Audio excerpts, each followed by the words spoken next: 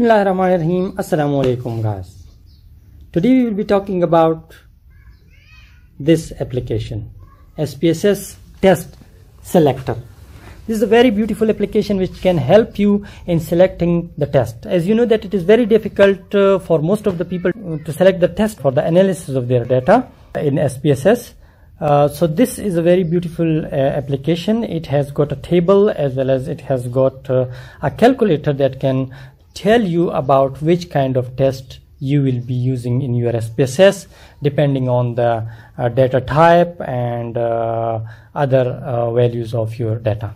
So now let's go to this uh, SPSS test selector. Click on it. After the application is opened, the first option here says start find test. The second one is the table of tests. The third is for the calculator for sum of squares. So now let's begin with the first option, start, find, test. Now depending upon your data and your objectives and your research, you will have to select one of these options. For example, you want to calculate the differences between groups. Then select this one. Here they have shown us three options.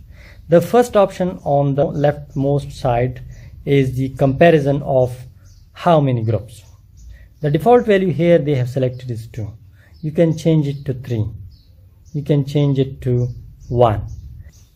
By changing the value, you can see the test that you will be using for the analysis of your data is appearing on the bottom of the screen. Here you can see that the test you will be using is one sample t-test. Now let's change the comparison to two groups. These are two groups and they are independent and the third option here is the parametric, whether the test is parametric or non-parametric. The test you will be using here is independent sample t-test. Now let's change the second option, that is independent to dependent. You can see the test has changed to paired sample t-test. Now also let's change the third option where the default value is parametric. Change it to non-parametric. The test you will be using is Wilcoxon test. Change the first option to 3 and now the test you will be using is Friedman test. The last option change to parametric. This is a repeated ANOVA. And now change the second option, the dependent, to independent. You will be using one-way ANOVA. Okay. Now you have selected the test. Just below the test, you can see a green button. So just click on that green button. It will take you to the test. Here, this is the definition of one-way ANOVA. Then below that definition, you have the assumptions that you will require for the test Below that, they have given an example, hypothesis, and also they are showing you how will you perform this test in SPSS. So that's the most valuable thing of this application, which can tell you how to use this test using the SPSS. You can see here they say that you will have to click on analyze and then compare, compare means. After compare means, they have selected one way ANOVA. And then you can see the second screen where you can select different tests. And then this one, this screen, and they are also showing you the results. The explanation of the results. They're also showing you that how will you write this data in your thesis or in your paper. Go back go back. So if your test is related to the relationships between variables and not the differences between groups then the second option is the relationship between variables. There you can see two options. First you will have to select the options. From the first you can select whether it is parametric or non-parametric.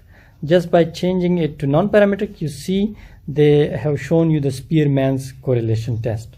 The second option can be changed to non-parametric and then you can go to the test and see the details and how to report in your thesis.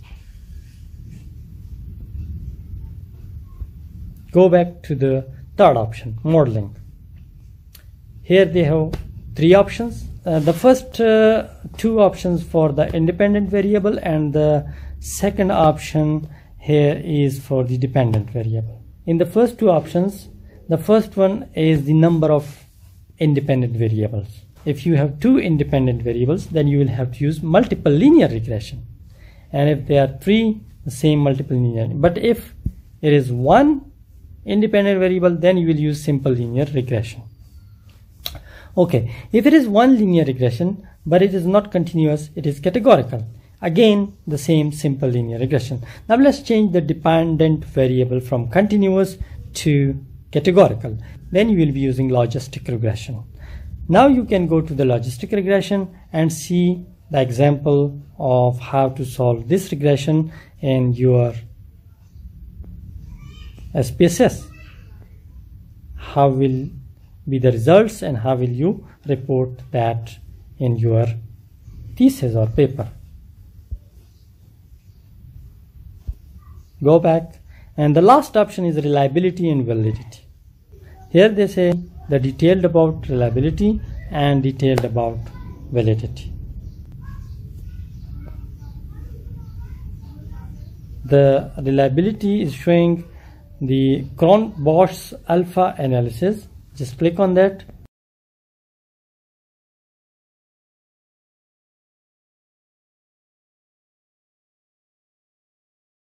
The second is validity and you can see the validity as well. In the home screen, the second option is the table of tests. Just click on that table of tests. You can see the rows and columns. So if you have one variable and it is parametric, then it is one sample t-test. And if there are two independent variables, the second row, the second column and the first row, parametric, then it is a student t-test.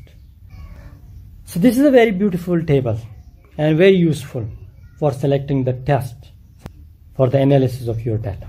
The last option is calculator for sum of squares. Here you can put your values in these formulas and they will then calculate you the value. So they say enter the data. For example, I put 2 space 3 space 4 space 5 space 6 okay. 2 space 3 space 4 space 5 space 6 okay. Okay. Now it can calculate you just tap on the tick mark on the check mark and it will calculate different values for you so this was all about the SPSS test selector application I recommend this application for every research student because this is a very beautiful application. It will help you in each and every step of the statistical analysis of your data.